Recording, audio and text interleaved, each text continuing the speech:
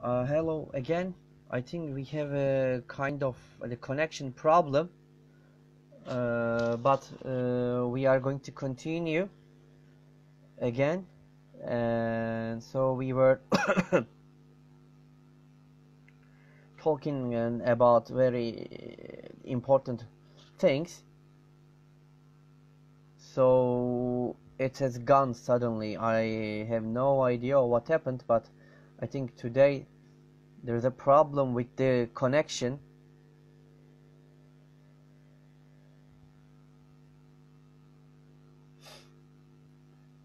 So, so sorry about it. I didn't understand what happened, but suddenly it uh, the Instagram live session turned off. So this is the first time happening. This has happened to me. So sorry. I'm waiting for them to come.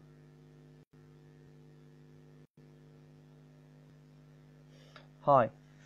I had no idea what happened, but it's suddenly it's gone.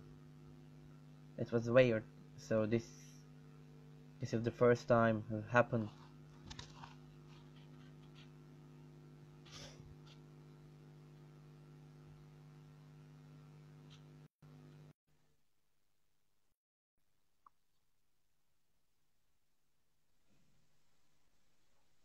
So sorry, Mrs. Tina. I had no idea what happened, but there is uh, something today. It's it's. Yes, yes. Maybe the connection is not supporting us today. Yeah. no. Normally it was really great, but this is the first time you know has happened happened to me. So I know I'm so sorry for this. So and the activities. So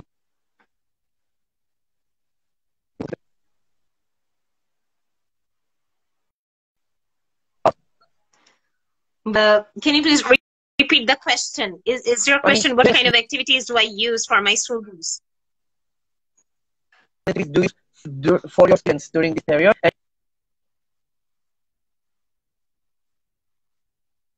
The things, daily activities you were talking about, but suddenly the connection lost.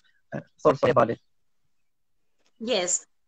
Well, uh, yes, I, I, I just want to add or uh, yes as the connection was lost well i, I would like to repeat that uh, i do obviously a lot of activities with my students to engage them effectively because effective engagement is important.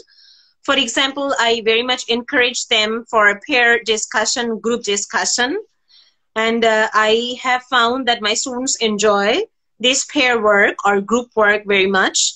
Uh, uh-huh. they also enjoy taking interviews you know. My students some of my students one group actually took interviews also as part of their assignment. So they also enjoyed that which was something interesting and new for them.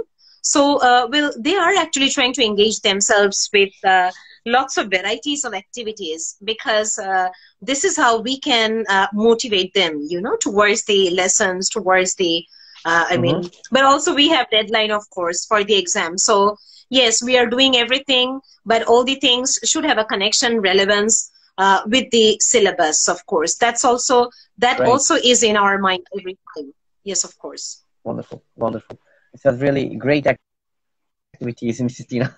And so Thank other you. question is actually you have mentioned it how do you motivate your students for online learning? Maybe you mentioned it but uh, so what do you say them? How do you make them ready for the online uh, learning? Well, as I have mentioned, that uh, the entire courses are developed on Moodle by the teacher before the semester. So we take preparation before the semester. So when students actually registered for a course, actually uh, get everything on the very first day. They get everything on the very first day uh, from uh-huh. day one to day 24. Usually we have 24 classes uh, per semester. So they get in the entire 24 lessons on Moodle. So uh, they can easily connect and even they get the dates of their examinations as well. Yes. So we have our semester calendar before the semester. We have the entire course ready on Moodle uh-huh. before the semester. this is actually a strong motivation for students. Even if they miss some classes due yes. to serious issues, they don't feel lost. They know that, well, everything is over there on Moodle. Everything uh, is uh, over there in VLC. So I can uh, join anytime. I can listen to the class recording anytime. I can uh, discuss with my teachers and my friends or batchmates anytime. So this is actually, this has been working as a serious motivation since the beginning, I must say. I see, I see, great. And, and thank you very much. And my other question is maybe, maybe it looks a little difficult, but I think uh, I would like to ask, ask it about it. So do you feel, do you feel that the current way of educate children fully prepares them for the needs of the 21st century. Can you please repeat the question, please?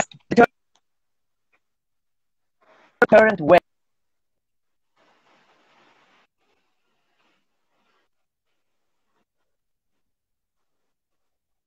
prepares them for the needs of the 21st century. So how how we are going to prepare them for the 21st century? Exactly. Yes. Do you okay. think that you are fully, uh, you know, prepares them for the 21st century needs? Yes, uh, that's a very good question. Of course. Well, uh, as I have mentioned, that uh, there uh, will we don't know. Uh, will uh, teachers will are very important figures of our society. Teachers cannot be replaced through technology, but there is a question. Well, if a teacher doesn't know how to use the technology effectively uh, or uh, if a teacher doesn't know how to actually engage technology while teaching uh, then maybe he or she would be in trouble in future.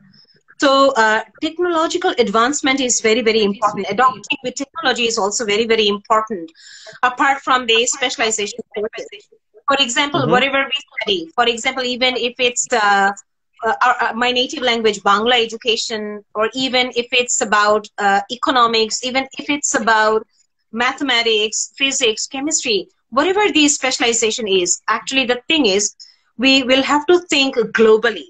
Well, uh, let me share one interesting thing with you. Well, in my university, as I have mentioned, that yes. Daffodil is a private university, but uh, uh, you would be glad to know that every semester, every year, every semester, we get a lot of international students in, in our university. So we wow. get students from uh, Turkey, even, you know, we get students from Turkey. Wow, great. Yes. Wonderful. Yes, uh, we, yes, we get students from Somalia, Nigeria. We get students from Iran.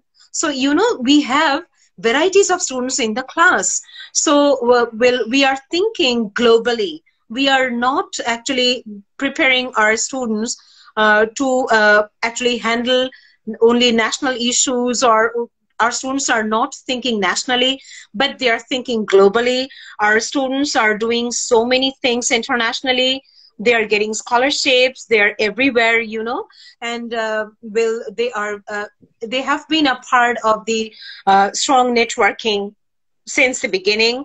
Well, uh, so I have seen that uh, if I am not adopting with all these as a teacher, well, then I'll be behind you know even behind uh, i mean uh, what would i say? My students will be ahead of me. And of course it should be.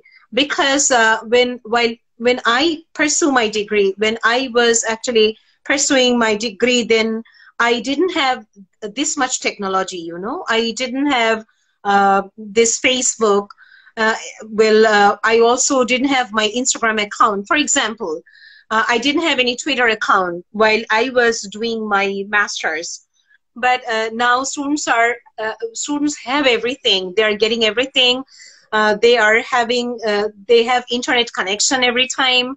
Uh, in my university the internet uh, yes of course all these students are under internet connection. So you know if i ask a student why are you attending the class? Because all the things are on google. Yes they can easily manage everything through google. They can google and can find everything. But still they are in the university they are in front of us they want to hear something from us they want to engage themselves uh-huh. actively so uh, yes of course this also indicates that we uh, need to think globally and for this we need to prepare ourselves uh, i mean that way accordingly and uh, yes of course there are several ways but uh, giving them their own responsibilities i think is the best way yes. is the best way uh, to make them autonomous learners you know because autonomous learning is very very important yeah definitely well as important. a teacher i I, yes, I, I shouldn't take all the responsibilities of all my students because someday my shoulder would break, of course. so, yes, of course, they should take their own responsibilities. And if someone is capable of taking his or her own responsibility, I, I think that is the best start to think globally. He or she can great. be global, of course. Well, great, great. Thank you. Thank you very much, uh, Mrs. Tina. So my, my other question is about uh, about the governments. So what role what role do you think government should play in education? Yes, of course, government has very, very, very important role to play in terms of, uh, I mean, what maybe sometimes modifying the education system, sometimes thinking about the uh, uh, planning and policies. So mm-hmm. yes, they play a big part, you know, especially in uh, planning and policies. Of course, uh, we we look uh, we look up to government, but in my country, you know, if I talk about tertiary level of education, well, yeah. we have that freedom. We have that freedom to include uh, to actually design our syllabus curriculum. So we have that freedom. And uh, we can uh, design the curriculum according to the needs and levels and requirements of the 21st century. And then we can submit that curriculum to the UGC, okay, which is the governing body actually. If they approve, then we can actually start, uh, I mean, executing the plan. Uh-huh. So we have that freedom at tertiary level, and that's very good, positive because uh, if uh, government imposes uh, I mean, each and everything, especially at tertiary level, then sometimes it, it becomes difficult because we, as, as I have mentioned, that we get students not only from English medium background, but we also get students from Bangla medium background. We also get madrasa education students. So yes, it's very important, uh, will to design uh, own way. And uh, of course, regarding the uh, assessment system, uh, well, most of the universities follow certain things, but uh, then again, well, as teachers, we have that freedom, you know, to assess our students. For example, I must say that my university has given us the entire freedom to assess students the way I want. Uh, well, I can engage my students through forum and I can give them some marks for that, for their, I mean, active engagement over there because they also need incentives. Yes. So intensive mm-hmm. is very, very important this is also a kind of motivation. I can also engage my students through, for example, uh, what would I say? Uh, if they actively participate in each and every peer discussion, I can give them some marks, two, three marks, or even five marks. Okay, so yes. we have that freedom, and uh, will this freedom helps us actually to engage students, to engage us also ourselves also uh-huh. Uh, throughout. I see. That's important. Yes. Important. Thank you. Thank you. And and can I move? Other question. I think you are not. I hope you are not tired at this time. It's a little bit late there, but I have just uh, two or three questions left. Uh, and the other question is, uh, what do you feel the most exciting or effective learning environment would be? Sorry, can you please repeat yeah, sure. the question? Sure. What do you what what do you feel the most exciting or effective learning environment would be? If we can ensure if we can ensure proper internet connection throughout the country, if we can ensure uh, electronic devices well i think uh, we can expect a lot from our students and uh, the entire scenario would be changed and in this connection i would like to also mention that my university uh, has a motto you know has a particular motto.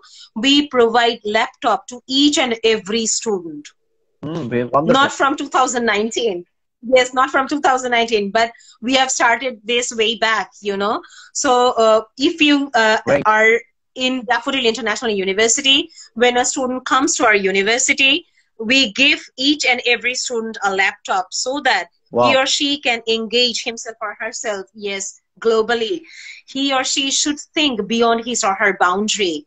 So think big dream big and uh, will work right. harder. Of course you would be able to achieve everything. You are right definitely. Your students are very lucky about the laptops. If i become a dad can i get them one more laptop? Yeah. Yeah it's great. Wonderful wonderful. Uh, and mrs mrs And what another question is what do you think about teachers professional development what can teachers do for their professional development during this period? Well, uh, professional development is very, very important. If a teacher is not developing his or her skills, even uh, if a teacher is not actually developing uh, gradually with his or her students, then of course uh, he is not an updated teacher. He is a backdated teacher. He doesn't want to mm-hmm. change. Change and adopt adaptation is very very important, of course. So yes, for professional development, well, a teacher I believe should should participate in different conferences, seminars, workshops.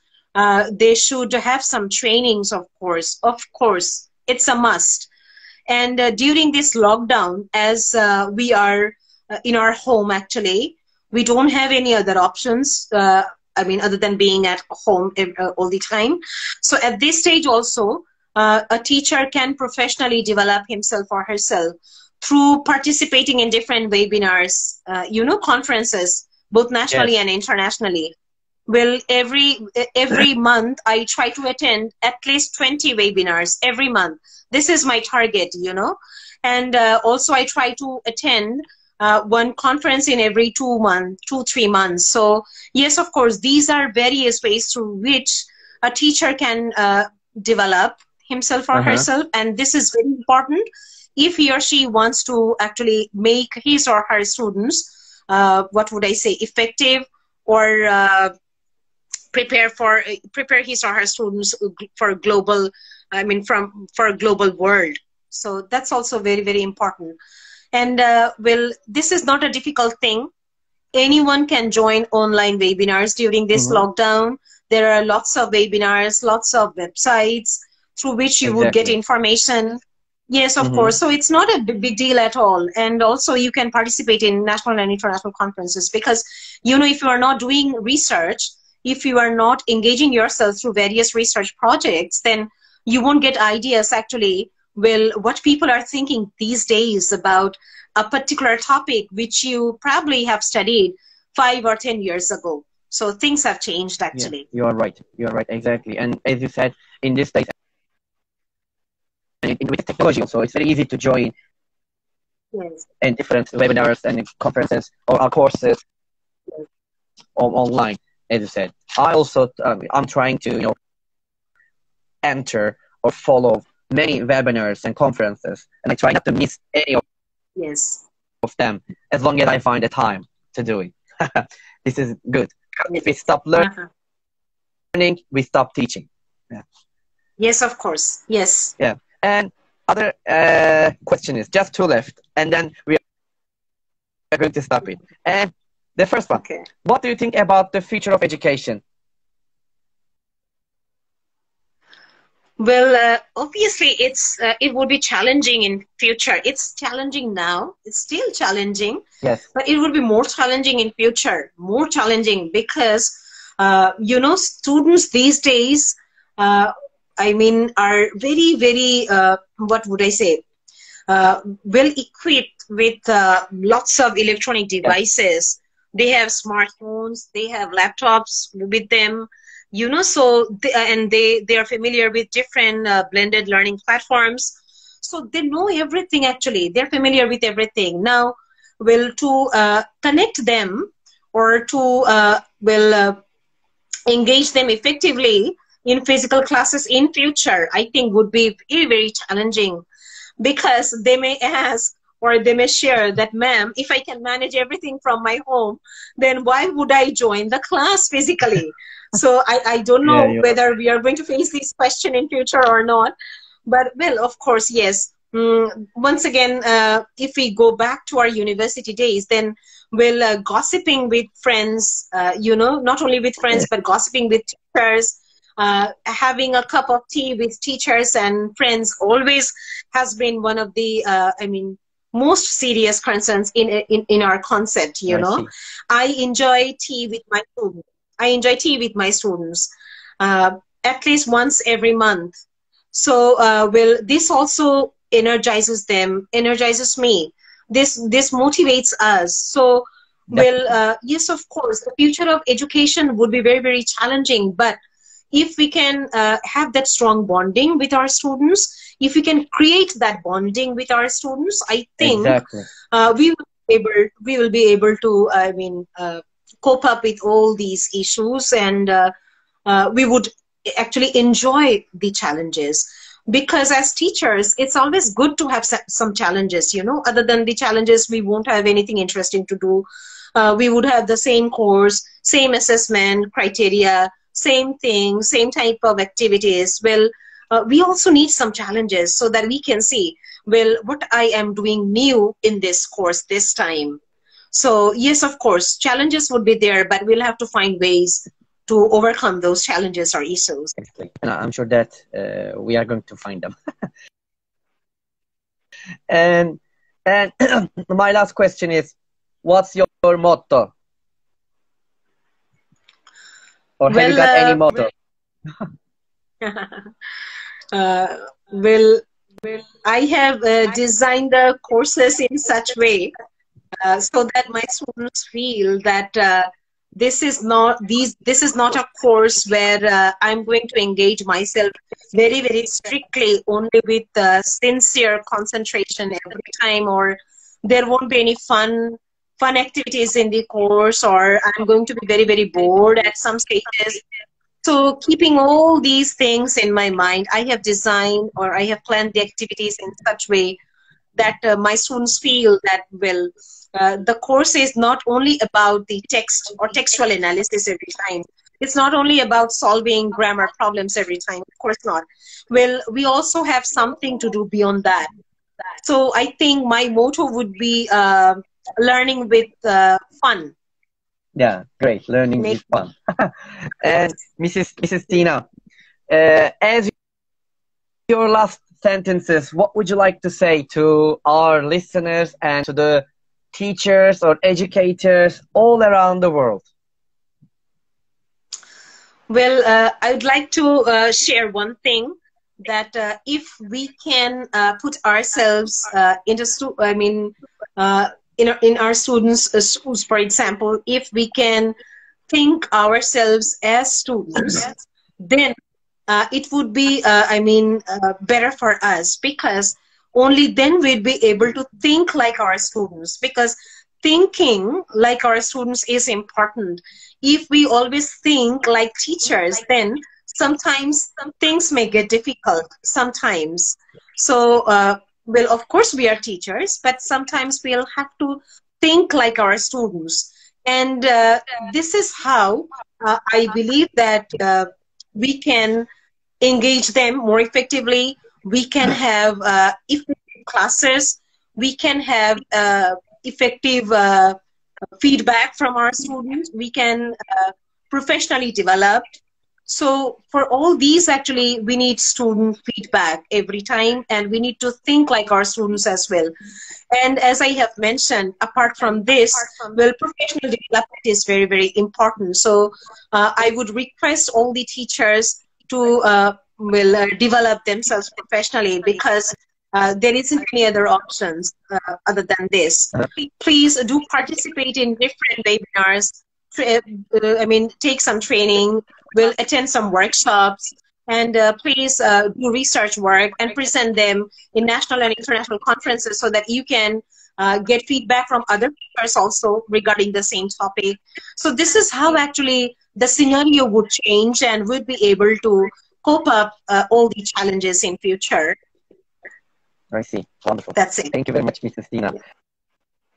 And and also yes, uh, uh, this is our. I think we are going to end of our live sessions, and I would like to thank you that you joined my live session, and thank you that you share your ideas, you share your experiences with us, and you give your time to us. I know that it's really late in Bangladesh. It's I think mid midnight now over there. And yes. thank you very much for your all your passion, all your you know the nice ideas to us, and also thank you very much to who listen to us and join and participate us and say nothing even if we have some technical and problems during the live yes. sessions and i hope you enjoy it i really enjoyed uh, every moment that we have spent here uh, together and i hope that the, I'd like to thank you. I'd like to actually.